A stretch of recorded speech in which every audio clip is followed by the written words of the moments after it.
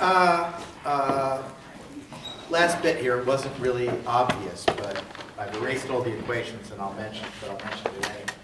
Which is that this line here, that line that I had relationship between H and B, which would determine what the, uh, which, uh, what the B field is in the material. That intersection down here, and as a result, the slope of the line, depends upon the gap. So I had, I, I- if, if you want, I'll rewrite the equation. I will rewrite the equation. Only if I can find it. Here we go. Magnetic field in the core is equal to area of the gap over area of the core. That's going to be basically one. U zero over length of the gap, right, times Ni minus HCLC. So the slope of this relationship between the two and the intercept over there as well depends upon LG. All right? So, so as, it- as I change the gap, now that I look at it, let's see, if I lower the gap, then this end's going to come down, and uh, what happens at this end?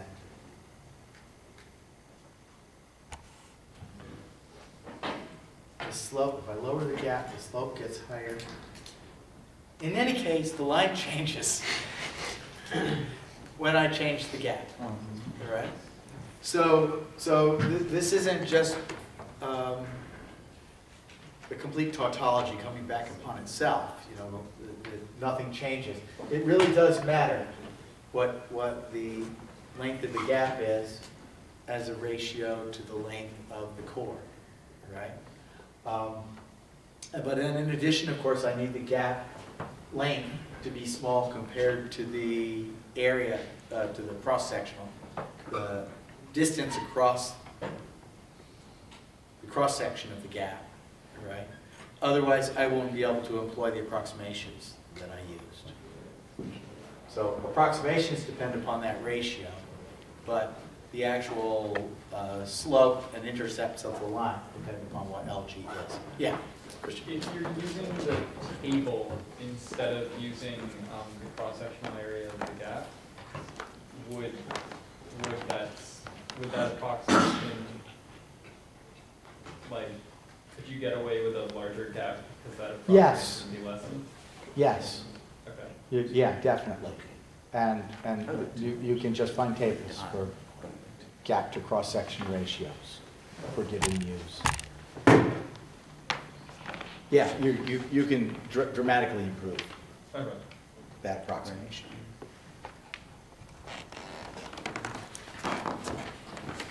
Okay, so that was magnetic circuits.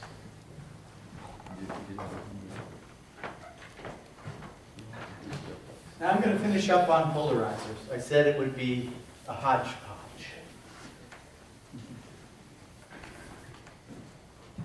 Um, So, we describe polarized light as having components along the horizontal and the vertical direction.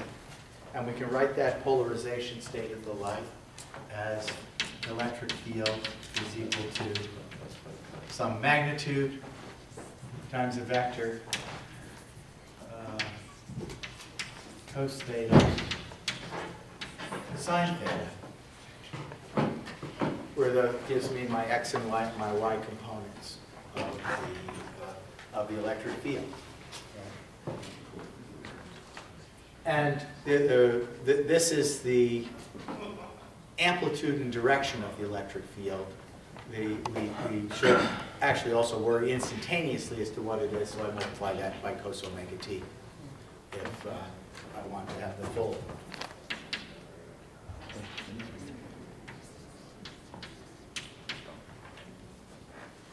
By doing that, I can now put a phase difference between the uh, um, X component and Y component.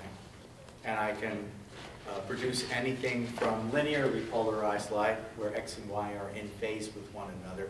That is, they're both fully real or fully imaginary. They've got the same phase, right? Uh, They don't have to be fully real or fully imaginary. They have, just have the same phase. Which means that I could pull a constant out of this, and this would be real. If I can do that, then that's linear repolarized light, no matter what the angle is. The angle just depends upon cos theta and sine theta, on theta, right? Uh, I can produce elliptically and circularly polarized light by putting these two out of phase with one another.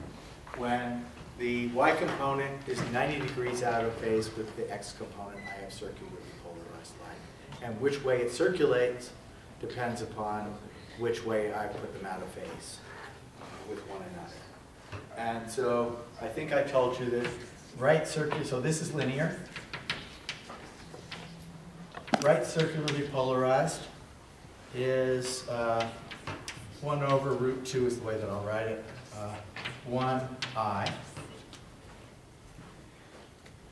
Left circularly polarized. 1 over root 2, 1 minus i.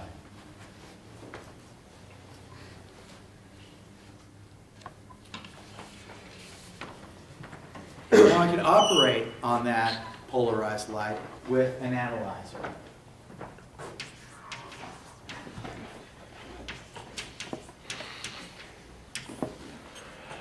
And um, I have these vectors that, do, that describe the polarization state of the light.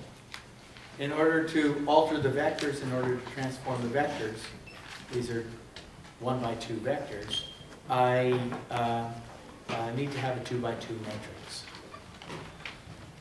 So the Jones matrices are the things that will convert one polarization to another or select one polarization from another.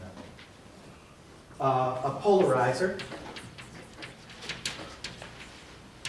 with the um, transmitting axis, transmission, oh, let's see, I've got horizontal. Horizontal is represented by this, one, zero, zero, zero. We can check, to see that that, that works out okay. This is my, um, let me put final polarization state over here. And what I'm going to do is take linearly polarized light that is polarized at an angle theta. Oops. And I'm going to operate on it with a horizontal polarizer.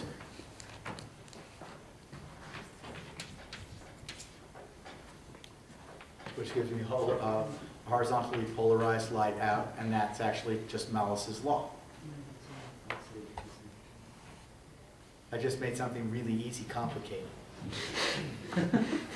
But this can, this can be much more useful and interesting if I have a whole bunch of polarizers, for example, and I've got them at a variety of angles, and I'm busily trying to figure out, okay, what do I multiply by what, which term is which? Let's find, the, let's find the x components and the y components. Don't need to do that, right? The, the matrix for an arbitrary polarization is cos squared theta, sine theta, cos theta, sine theta, cos theta, uh,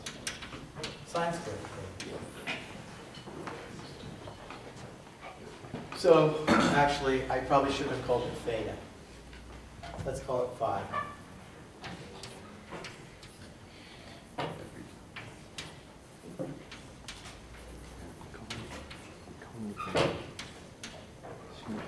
That's the angle at which the polarizer is set, or the analyzer rather is set. Then, if I want to find out what comes out, I just multiply that times that, and out it comes. If I've got a whole string of polarizers, then I just multiply them times one another.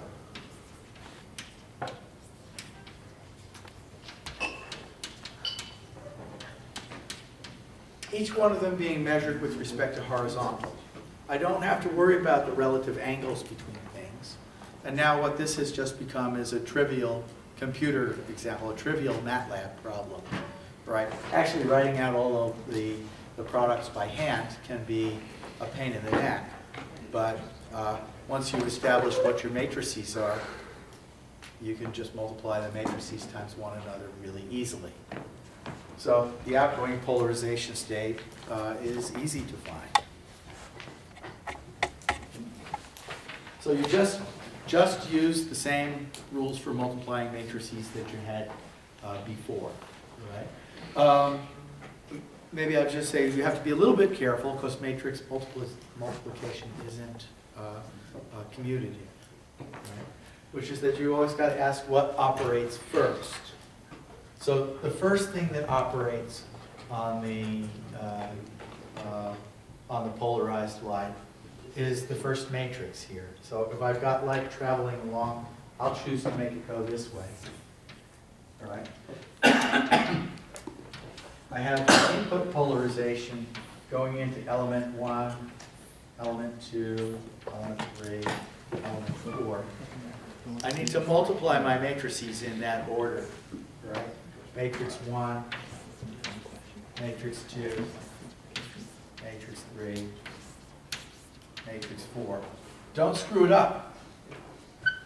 Because going through a 45 degree polarizer and then a vertical polarizer is not at all the same as going through vertical N45. A good example would be if I go through, uh, if I start out with vertically polarized light, and the first thing I do is go through a horizontal polarizer, what comes out is zero. Then I can add a 45 degree after that, and nothing comes out. Nothing in, nothing out. Whereas if I start with vertically polarized light, go into a 45 degree polarizer, I get 1 over square root of 2 for the amplitude. And then I go through the next one, I get 1, uh, 1 over square root of 2 again. So I end up with 1 half of the original amplitude coming out. So the order in which you perform these operations is important. And I will make sure on a test that you have to choose the order uh, in order to get the answer right. Won't make it symmetric. All right, but, wait, there's more.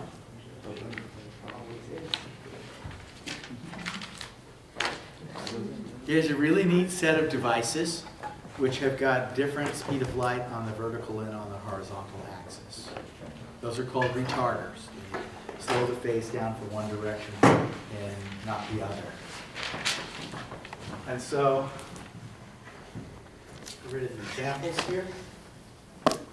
I've got my polarizers, so I can just use polarizers. I don't even need this, because that's everything, as far as linear polarizers are concerned. right? Um, in what's called a quarter wave plate, this is the most common retarder. You take one of the uh, uh, axes and you slow it down so that it ends up coming out one half wave behind. Oh, sorry, one quarter wave. one quarter wavelength behind the other wave, right? The uh, operator for the quarter wave plate then would be this. There's going to be an overall delay, and I'll put that in. EDI delta 1, do, do the whole plate, right? But then there's a difference between the two. And the difference, this one doesn't get retarded at all. This one gets retarded. That's quarter wave plate which uh, takes 45 degree incident light and turns it into right circularly polarized. I think I gave you the homework, the homework to actually do that. This is pretty Uh, This is actually pretty simple. Um, Did I give you, yes. I gave you an arbitrary uh, wave plate, which looks like this. There's e to the i delta 1. This always goes out. By the time you square to get the intensity, the the overall delay is gone, all right? But I'll put it in there anyway. Times uh, 1, 0, 0, e to the i delta 1 minus delta 2, the phase difference between the two waves. Okay, if the wave plate had some particular, um, uh, well, actually, we could work out what the thickness has to be, let's say. So I've, in, in my material, I've got index one and index two for the, for one polarization and for the other polarization of the light, right? The thickness of the plate, I'll take to be D, right? The uh, number of waves, the del, the, the phase difference between the front and the back of the wave plate then in one orientation is going to be uh, N1 D over lambda times 2 pi. And the other one is N2 D over lambda times 2 pi. So the difference in phase between the two, what we're calling delta 1 minus delta 2, is equal to 2 pi d over lambda n1 minus n2.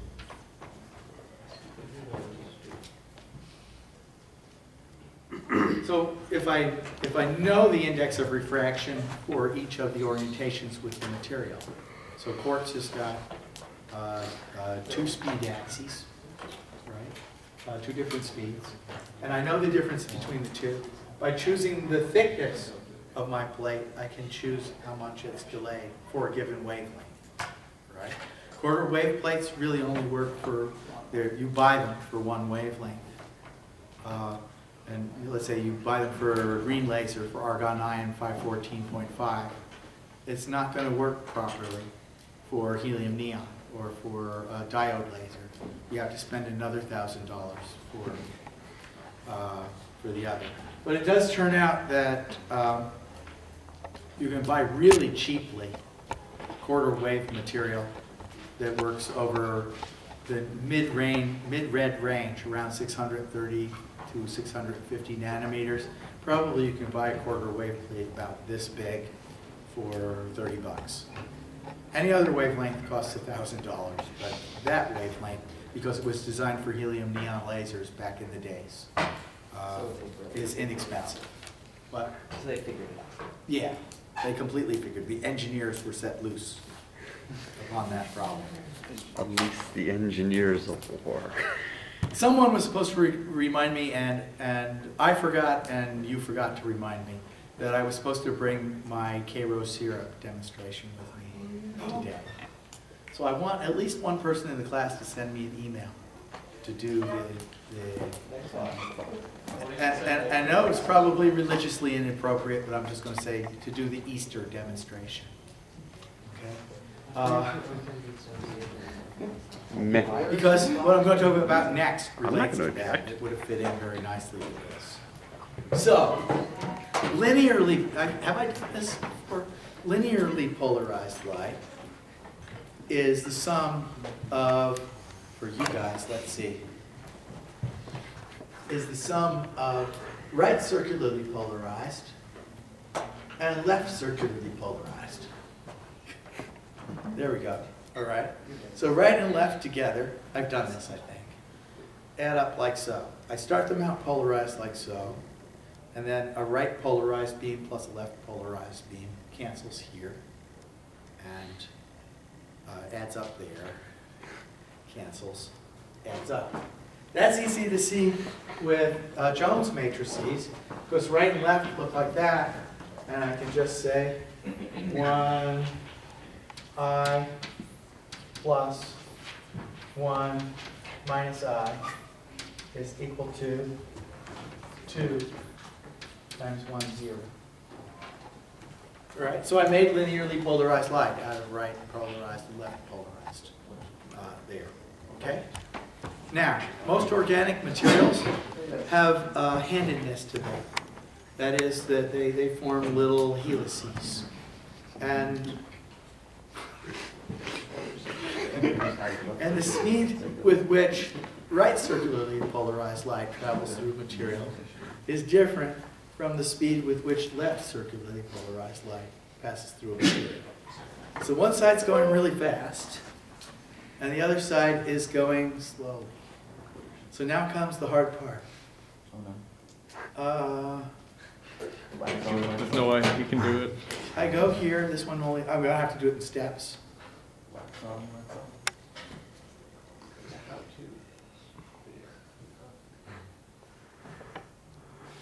You sing rock around the clock while you do this? Someone else can. No, it's a how-to.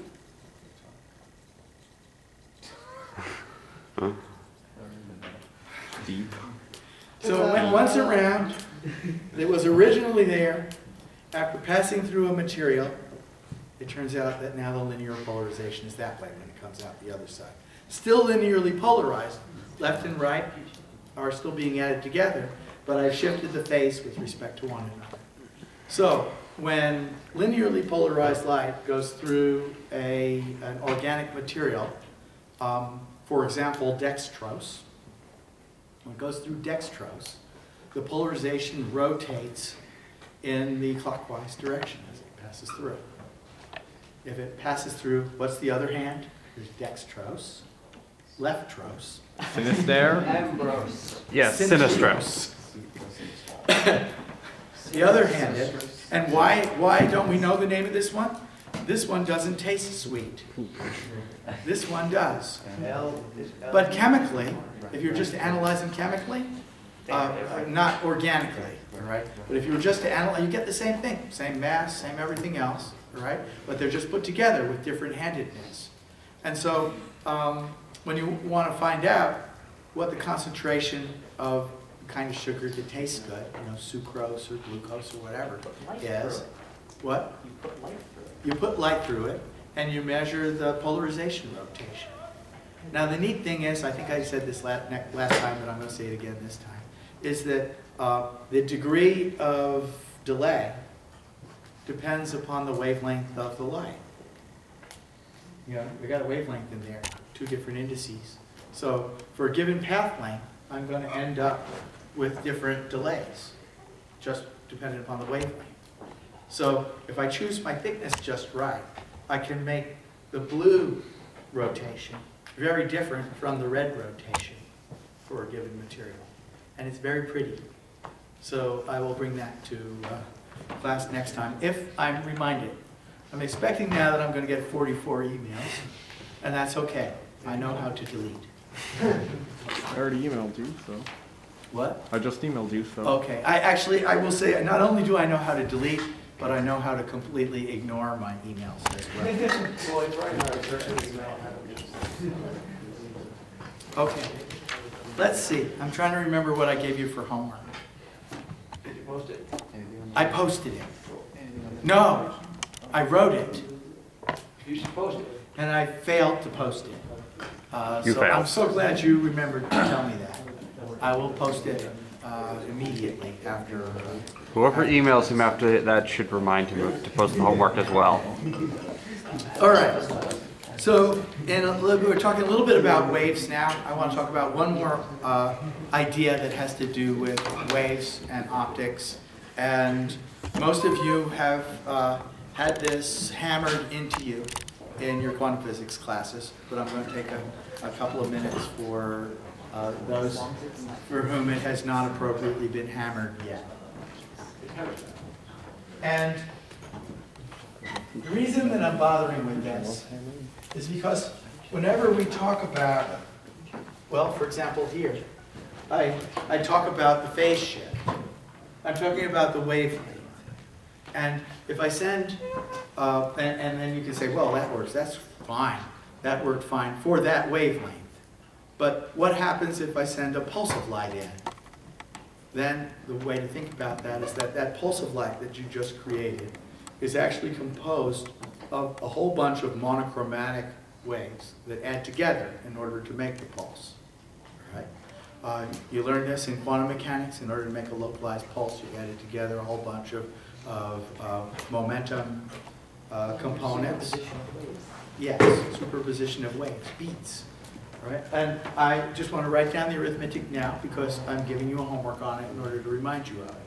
And the reason that, that I, I do that is because throughout everything that we're going to talk about here, we're just talking about one wavelength.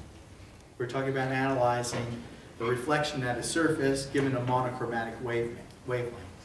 The, the very phrase monochromatic wavelength actually means that that wave existed from the beginning of time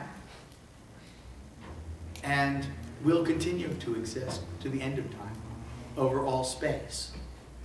Right? Anything that doesn't do that is not monochromatic. It can be pretty monochromatic, but it's not strictly monochromatic.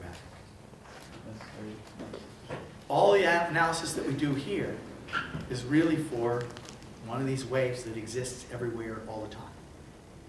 All the beauties, beauties of the uncertainty principle. Yeah.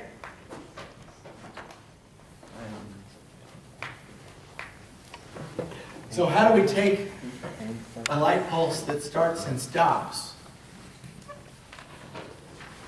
and turn it into a monochromatic wave, break it up into monochromatic waves, for which we can do all the analyses that I've just talked about. And the idea there is the Fourier transform. So I knew it. barring factors of 2 pi and the square root of pi, I'm going to write things this way. I can represent any function, and remember, this is a physics class, so I'm not going to be careful here at all, right? That, that fulfills certain conditions. Probably has to be continuous. It probably has to be bounded. It probably, Continuous, yeah. bounded. And it doesn't actually have to be continuous, I Yes, take it if back. it's No. discontinuous, you have to have specific Yeah, I- it, it does not have to be continuous, right, but it has to be bounded. And it has to, the integral has to be finite. That's not true. Um, yeah. Must be bounded. No, the integral doesn't do that. I. Then I can write that function, let's say, which is a Does someone function have a show? of, uh, of Not on me. spatial coordinate x. right, As the integral over all possible wavelengths, actually momenta a of k, k being 2 pi over lambda. I'm going to write this in the old-fashioned um, uh, cosine and sine transform mode, right? But you can easily rewrite this using Euler's equation into exponential. But I have it in my notes.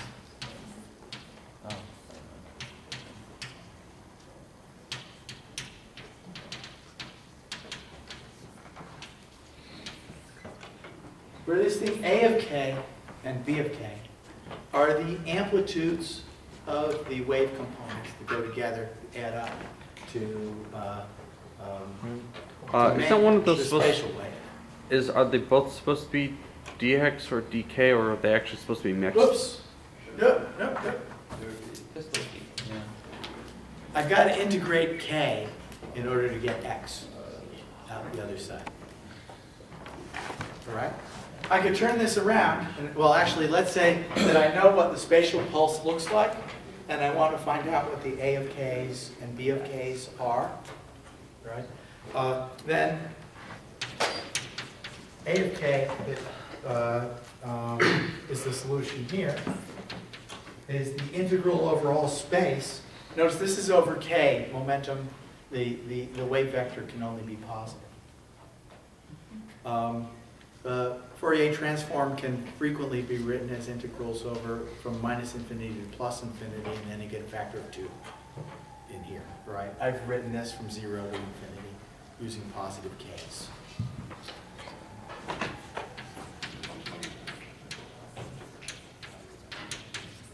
That's an integral over x, and v of k is the sine, is the sine integral. Um, There are a couple of quick observations that we could make about doing calculations here, which is that if, uh, if f of x is a symmetric, uh, let's look, yeah, if f of x is a symmetric function, right, then this is uh, integrated over even limits. And so, uh, by symmetric, I meant uh, even function. Then this will exist. But if f of x is odd, then this integral will be zero, right? So you can usually look at, at f of x pretty quickly and decide whether it's fully even, fully odd, or mixed. And frequently, when it's mixed, you can take it apart into its even and its odd components, thereby decreasing the amount of actual work that you have to do uh, significantly. Okay? I will, I was, but I'm not going to do an example now, where I take a Gaussian pulse and show you what the components hmm. have got to be. It actually turns out you need a Gaussian in order to make a Gaussian. For homework, you've got a square pulse that turns on and turns off. But not just a square, it's a square cosine kx pulse. that turns on.